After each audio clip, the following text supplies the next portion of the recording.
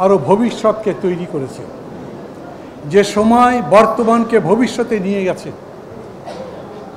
আমি তখন ঢাকায় ছিলাম না, চট্টগ্রামে ছিলাম। আমি শুনেছি, দোসরা মার্চ লোকে লোকারণ্য ছিল পুরা বটতলা। থই থই করতো সমস্ত, এদিক ওদিক দেখা যেত না। অনেক উঁচু একটা সভামঞ্চ ছিল। ঢাকা মহানগর ছাত্রলীগের সভাপতি শেখ জাহিদ একটা পতাকা নিয়ে এসে রব ভাইয়ের কাছে দিয়েছিলেন। অনেক নিচু থেকে তুলে ধরবার চেষ্টা করছেন, মানুষ দেখতে পারে না। রব ভাই গিয়ে তার হাত থেকে পতাকাটা নিয়েছেন আর তারপরে সেটা সবাইকে নাড়িয়ে নাড়িয়ে দেখেছেন। এই হলো স্বাধীন বাংলাদেশের পতাকা। আপনারা আপনারা জেএইচডির পক্ষ থেকে যে পোস্টার বের করা হয়েছিল, এইবারও হয়তো হয়েছে, আমি দেখিনি। সেইখানে সেই ছবিটা আছে। একটা লাঠি উঁচু করে তুলে ধরেছেন রব ভাই, আর সামনে অগণিত মানুষ, অসংখ্য মানুষ। এ তো সত্যি, ওই পতাকাই বাংলাদেশের পতাকা। ওই পতাকাই স্বাধীন বাংলাদেশের পতাকা। যেই পতাকা সেদিন রব ভাই, সেই বটতলায় সাধারণ ছাত্রদের মাধ্যমে সমগ্র বাংলাদেশের মানুষকে দেখিয়েছিলেন। তাহলে আজ আজ হয়তো এক তারিখ, কিন্তু আগামীকাল দুই তারিখ বাংলাদেশে এই দিবস জেএসডি ছাড়া কেউ পালন করে না কেন? যদি এটাই সত্যি হয় এবং সত্যি, তাহলে স্বাধীন বাংলাদেশের ইতিহাসের মধ্যে দুই মার্চ কিংবা তিন মার্চ, যেদিন শাহজাহান সিরাজ পল্টন ময়দানে স্বাধীনতার ইশতেহার পাঠ করেছিলেন। আমার যদ্দূর মনে আছে, সেই সভায় বঙ্গবন্ধু শেখ মুজিব উপস্থিত ছিলেন। এই দুটো এত বড় উল্লেখযোগ্য দিন একেবারে ইতিহাসের মধ্যে থেকে খেয়ে ফেললেন কেউ কেউ? আমার মনে আছে, ঠিক এইখানে এই রকম একটা সভায় রব ভাই বক্তৃতা করেছিলেন। সাজান সিরাজ ভাইয়ের কথা বলেছিলেন, তিন তারিখ ইস্তাহার পাঠ দিবসের কথা বলেছিলেন এবং বলেছিলেন, শেখ হাসিনা এখন প্রধানমন্ত্রী, উনি জনাব আসম আব্দুর রব, তার সরকারের মন্ত্রী ছিলেন, তাদেরকে বলবার পরেও তারা এই দিবস পালন করতে রাজি হননি। রব ভাই এরশাদের সঙ্গেও ছিলেন। নয় বছর হোসেন মোহাম্মদ এরশাদ ছিল, কিন্তু দুই তারিখ স্বীকৃতি পায়নি, তিন তারিখ স্বীকৃতি পায়নি। কেন? এক তারিখে ইয়াহিয়া খান জাতীয় সংসদের অধিবেশন মুলতবি করেছিলেন। বোঝা গিয়েছিল যে বাংলাদেশের স্বাধীনতার অধিকার মানবে না পশ্চিমারা। বোঝা গেছিল বাংলাদেশের স্বাধিকার আন্দোলন তারা স্বীকার করে না। যে নির্বাচন হয়েছিল উনিশশো সত্তরে, সেই সত্তরের নির্বাচনের ফলাফল বলে দিয়েছিল বাংলাদেশ কোন দিকে যাবে, তখনকার পূর্ব পাকিস্তান মানুষ কোন দিকে পছন্দ করবে। আমি বলি, দুই তারিখ জনাব আসম আব্দুর রবের এই পতাকা দেখাবার প্রয়োজন পড়ল কেন? এই সব কথাগুলো বলবার জন্যই অনেক সময় দরকার, এবং সে কথা সবচাইতে ভালো নিশ্চয়ই রব ভাই বলতে পারবেন। অথবা মঞ্চে বসে বসে দেখলাম ওনার হাতে একটা বই, আমি সিরাজুল আলম খান বলছি, উনি বলতে পারবেন? কিংবা মারা গেলেন যিনি, জনাব আব্দুর রাজ্জাক, তিনি বলতে পারবেন? মারা গেছেন কাজী আরিফ আহমেদ বলতে পারবেন? অনেকাংশে বলতে পারবেন যারা বস্তবা বসির বন্টু আমি বরঞ্চ প্রস্তাব করি, কোনো একটা দিন নির্ধারণ করে অথবা কয়েকটা দিন নির্ধারণ করে স্বাধীনতার এই উজ্জ্বল জ্যোতিষ্কগুলো নিজেদের ইতিহাস পর্যালোচনা করেন, আমাদেরকে জানান কি হয়েছিল। আজ আমি দেখতে পাচ্ছি, কোনো আসমরার স্বাধীনতার ইতিহাসে নাই। কোনো শাহজাহান সিরাজ স্বাধীনতার ইতিহাসে নাই। কোনো ডক্টর কামাল নাই। কোনো মোস্তফা মহসিন মন্টু নাই। আছেন শুধু একমাত্র একজন, এক ব্যক্তি। ওই ব্যক্তিকে আমার ছোট করবার কোনো ইচ্ছা নাই। উনি তো স্বাধীন বাংলাদেশের বাংলাদেশের জনগণের মহান মুক্তিযুদ্ধের নেতা ছিলেন অবশ্যই। কিন্তু তারপরেও সেই যে কথা আছে না, কোনো ব্যক্তি ইতিহাস তৈরি করতে পারে না। ইতিহাস তৈরি করে জনগণ। বাংলাদেশ তার চেয়ে সবচেয়ে বড় প্রমাণ। তিরিশ লক্ষ লোক জীবন দিয়েছে। দুই লক্ষ মা বোন ইজ্জত দিয়েছে। এক কোটি মানুষ এক বছরের জন্য ঘর ছেড়ে প্রতিবেশী দেশে গিয়ে আশ্রয় নিয়েছে। এই মানুষগুলোর অবদান স্বীকার না করলে আমাদের স্বাধীনতার ইতিহাস সত্যভাবে তো রচিত হতে পারে না। বলা হয় এখন, ক্ষমতায় আছে আওয়ামী লীগ বলে স্বাধীনতা আন্দোলনে নেতৃত্ব দান করে এই দল। ইতিহাস হয়তো সেরকম করে বলেছে, কিন্তু রব ভাই বলেন, উনিশশো সত্তরের নির্বাচনে যে পার্লামেন্টে যারা যারা জিতেছিলেন সেই এমএলএ সাহেবরা, সেই এমপি সাহেবরা মেজরিটি সংখ্যক এই স্বাধীনতা যুদ্ধে কি ভূমিকা পালন করেছিলেন? আমার মনে আছে, বঙ্গবন্ধু ছয় দফা দেবার পরে আওয়ামী লীগের কেন্দ্র কমিটি সেই ছয় দফার পক্ষে কোনো প্রস্তাব গ্রহণ করেনি। আজ এখানে রাব্ভাই আছেন যে ওই বটতলায় যে সবাই তিনি এই পতাকাটা দেখিয়েছিলেন, সেই সভার সভাপতিত্ব করতেন করেছিলেন তখন পূর্ব পাকিস্তান ছাত্রলীগের সভাপতি নূর আলম সিদ্দিকী। সবাই চেনেন আপনারা। নূর আলম সিদ্দিকী প্রতি জায়গায় বক্তৃতায় বলতেন, বঙ্গবন্ধু যদি ছিলেন আকাশের চাঁদ, আকাশের সূর্য, তাহলে ছাত্রলীগ ছিল এই পুরা খোলা আকাশ যার মধ্যে বঙ্গবন্ধু বিচরণ করতেন। উনি বলতেন, ছাত্রলীগ ছাড়া বাংলাদেশের ইতিহাস রচনা করা যাবে না। কারণ আওয়ামী লীগের নেতারা, আওয়ামী লীগের কেন্দ্র কমিটি ছয় দফা সেদিন প্রথমে গ্রহণই করতে চায়নি। পরে এই আসমরব এই সাজন সিরাজ এই মোস্তফা মহসিন মন্টু, তারা চাপ সৃষ্টি করেছেন, দাবি করেছেন, জনগণের চাপ হয়েছে। সেই কারণে শেষ পর্যন্ত আওয়ামী লীগের কেন্দ্রীয় কমিটি প্রস্তাব মেনেছে, তাও বহু ঘটনার মধ্যে দিয়ে। এই কথাও সবার মধ্যে দিয়ে আপনারা শুনেছেন।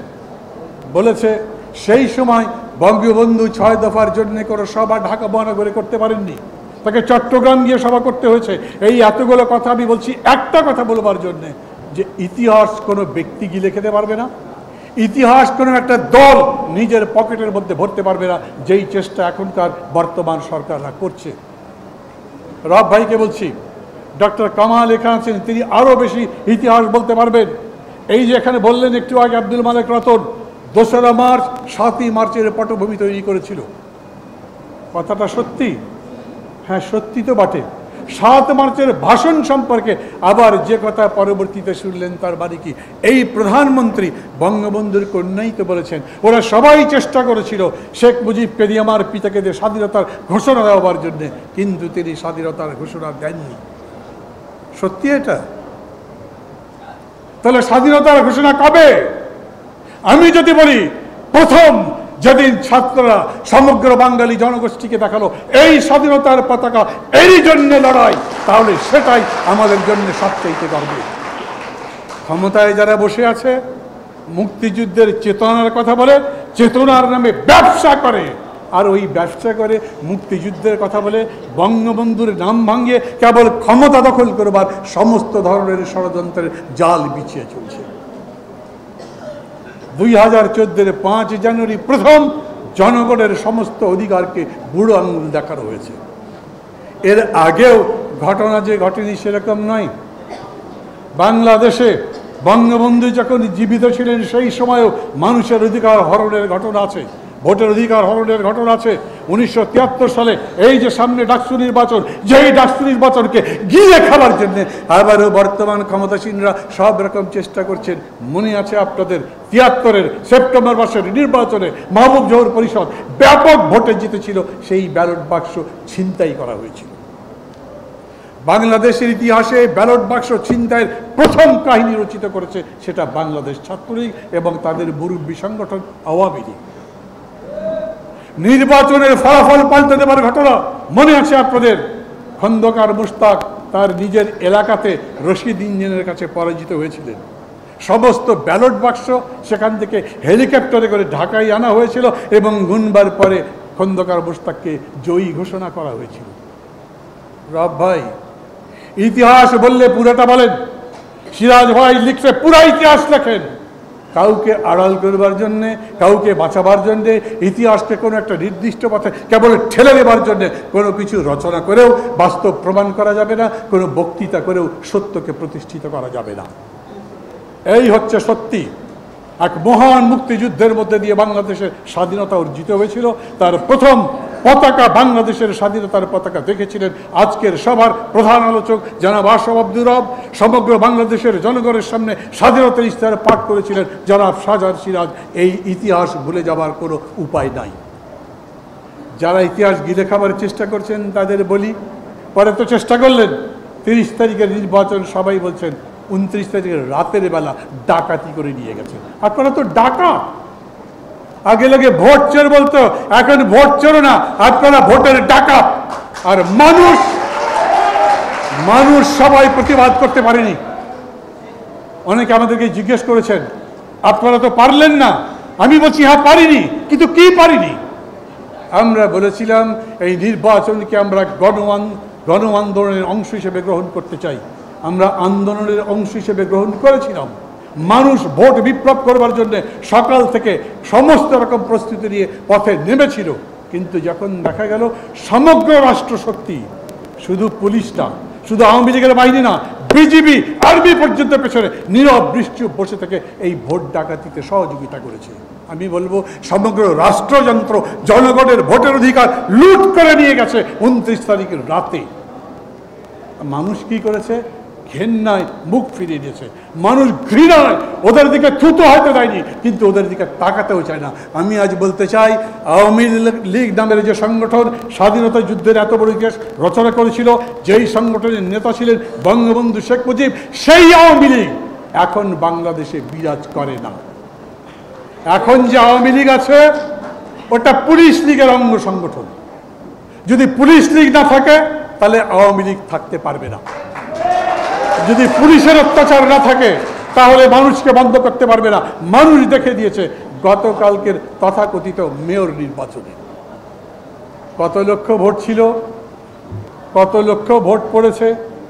মন্টু ভাই বললেন গার্মেন্টসের মালিক, তাই গার্মেন্টসের নেতা কর্মী যারা যারা আছে, তারা ভোট দিতে আসছিল। মন্টু ভাই গার্মেন্টস আমিও করেছি। গার্মেন্টসের শ্রমিকরা ভোট দেবার জন্য আসেনি। কেউই আসেনি। ভোট কেন্দ্র তো ফাঁকা ছিল। যতগুলো পত্রিকা আছে, আমি সামনে দেখলাম এখন বাংলাদেশ প্রতিদিন বাসায় প্রথম আলো ডেলি স্টার আরও কয়েকটা পত্রিকা পড়েছি। সমস্ত পত্রিকায় লিখেছে, ভোট কেন্দ্র শূন্য, ভোট, ভোটের প্রতি মানুষের অনাগ্রহ, মানুষ ভোট করতে চায় না। মানুষ বলেছে, বুঝিয়ে দিয়েছে, তোমরা ভোটের ডাকাত, তোমাদের অধীনে ভোট করতে চাই না, তাই ভোট দেয়নি। এখন কি করব আমরা? আমাদের তো লড়াই করতে হবে, এত লড়াই করে রক্ত দিয়ে, জীবন দিয়ে স্বাধীনতা এনেছি। আর এই গণতন্ত্র আনতে পারব না, যারা জোর করে আমাদের থেকে গণতন্ত্র ছিঁড়ে নিয়ে গেছে। তাদের কাছ থেকে আমি প্রথম বলি, আমরা পরাজিত হইনি, আবারও বলি, এই কারণে বলি যে রাজনীতিতে আওয়ামী লীগ মেধাশূন্য, বন্ধুশূন্য, জনগণ শূন্য হয়ে গেছে। মানুষ আওয়ামী লীগের পক্ষে আর নাই। মানুষ এখন আমাদের পক্ষে।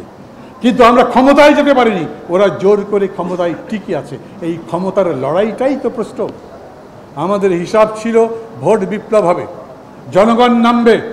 এই আওয়ামী লীগের পান্ডারা আর পুলিশরা মিলে ভোট ঠেকাতে পারবে না। আমি আজও বলছি, যদি শুধু পুলিশ নামতো, শুধু আওয়ামী লীগের গুন্ডা নামতো, তাহলে তারা ভোট চুরি করে নিয়ে যেতে পারতো, ডাকাতি করতে পারতো। আমার নিজের এলাকার অভিজ্ঞতা অন্তত বারোটা কেন্দ্রে রাত বারোটা থেকে একটা পর্যন্ত মানুষ প্রতিরোধ করেছে। তারপরে বিজিবিকে গুলি করে মানুষকে ছত্রভঙ্গ করেছে, তারপরে ডাকাতি হয়েছে। হ্যাঁ এইটা বলতে পারেন। আমরা কি বুঝতে পেরেছিলাম যে বিজিবিও এরকম লুটপাটের মধ্যে থাকবে? আমরা কি বুঝতে পেরেছিলাম সেনাবাহিনীর এরকম ভূমিকা হবে? না, বুঝতে তো পারিনি। আমরা তো সেনাবাহিনী সম্পর্কে বরঞ্চ এরকম করে কথাবার্তা বলেছি যেন সেনাবাহিনী একবার যখন নামবে, তখন সব ঠিক হয়ে যাবে। আমি মানি। আমাদের কিছু বোঝার ভুল ছিল। আর এ তো সত্যি, মানুষ কত খারাপ হতে পারে সেই ধারণা আমার নাও থাকতে পারে। আমি নাও বুঝতে পারি যে একজন মানুষ এত নিচেও নামতে পারে। কারণ আমি তো নিচের আমি না। আমি তো উপরে থাকি। আমি মানুষের প্রতি আস্থা রাখি। আমি একটা নীতির ভিত্তিতে রাজনীতি করি। সেই নীতি প্রতিষ্ঠা করতে চাই। নীতিহীনতা যে এত চূড়ান্ত জায়গায় যেতে পারে এবং তাও আওয়ামী লীগের মতো দল থেকে তা বুঝতে আমাদের ভুল হতে পারে। আমি মানি। কিন্তু সেই ভুল থেকে শিক্ষা নিয়ে আজও ঐক্যবদ্ধভাবে লড়াই করব, সেই লড়াইয়ের প্রতিজ্ঞাই আজকে নেওয়ার দিন। আপনাদের সবাইকে আমি আন্তরিক অভিনন্দন জানাই যে এই দিন প্রতি বছর আপনারা যথাযোগ্য মর্যাদার সঙ্গে পালন করেন। এই দিন বাঙালি জাতির ইতিহাসের দিন। তিন তারিখ, বাঙালি জাতির দিন। সমগ্র বাঙালি জাতির কাছে মুক্তিযুদ্ধ একটা মহামূল্যবান অলঙ্কার যে আমরা ধারণ করতে চাই পরে থাকতে চাই, আগামী দিন সেটা সাথে নিয়ে যেতে চাই। আপনাদের সবাইকে আন্তরিক অভিনন্দন, ধন্যবাদ। খোদা হাফেজ।